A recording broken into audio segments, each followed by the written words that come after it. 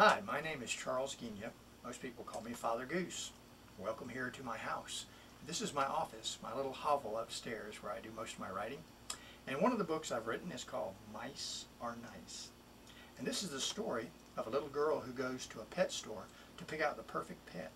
And as soon as she walks in, this little mouse pops up on the counter and starts telling her all the reasons why she should buy a mouse. Because he wants to go home with her. Mice are nice. Now when you hear this story, it's really not me reading. It's really the mouse speaking.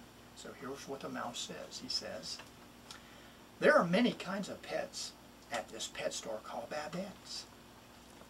There's the pet store. There's the little mouse on the counter. And there's the little girl. She's looking around for the perfect pet.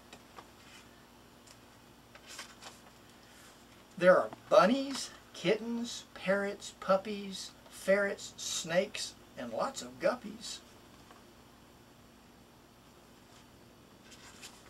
But if you want the perfect pet, mice are what you need to get because ferrets smell, goldfish stare, birds drop feathers everywhere.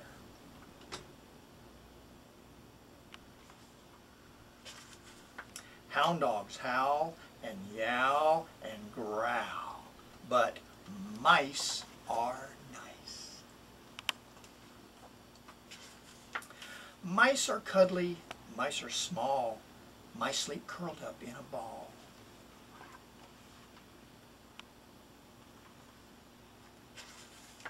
Parrots chatter, kittens chase, puppies like to lick your face.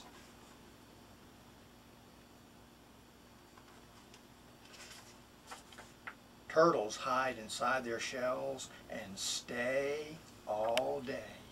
But mice nice. Mice are gentle. Mice are sweet. Mice have tiny hands and feet.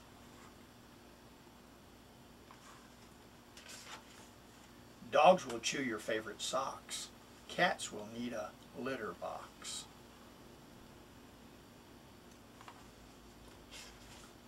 Boas squeeze, lizards shed, rabbits hide beneath the bed, but mice are nice.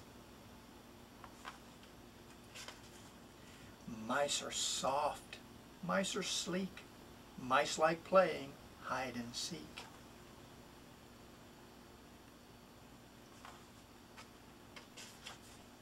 Dogs jump fences, cats climb trees, both have fleas and make you sneeze, but mice are nice.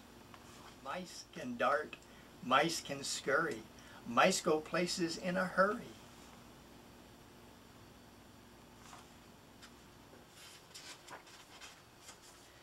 So if you want the perfect pet, mice are what you need to get because mice can run like a rocket. Mice can fit inside your pocket.